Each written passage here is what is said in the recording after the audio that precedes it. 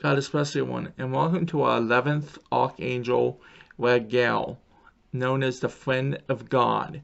Here's his titles, alterations, and spellings, and what he is angel of. Enjoy.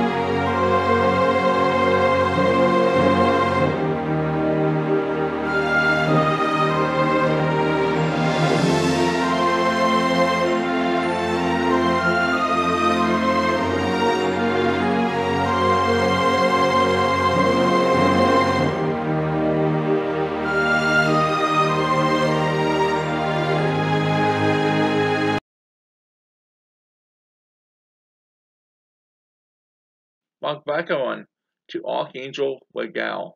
Now, Archangel Raguel, a lot of people pray to him to um, solve conflicts with family, friends. If something's happening and you can't really solve that conflict, people pray to him to help you in that way.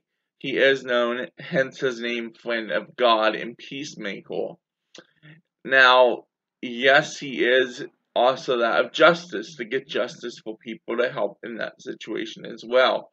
I think it's very interesting too that he has two elements, fire and water, which are kind of like polar opposites.